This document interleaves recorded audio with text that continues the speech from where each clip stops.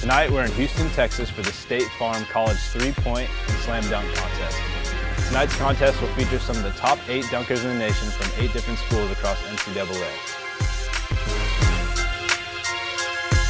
Blast Motion's excited to use the technology to track the contestants' vertical height, jump rotation, jump acceleration, and hang time.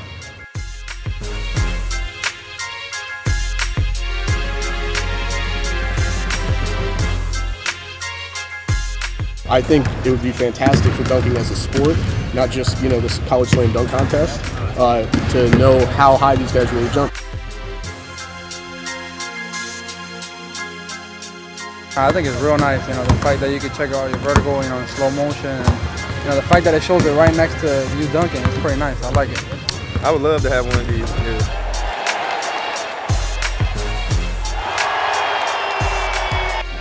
Took over the Slam Champ, you know. I did it for you, Mary, from Bismarck. My people back there, I know I got all my fans supporting. And I, I did it for my family too. I know my family's out here. My mom, I love you. What next? Um, we just see what the opportunity just come. We messing around with Chuck with Team Clark Brothers a little bit. Hey, you know what I'm saying? We're here with Blast Motion TV. You already know what it is, man.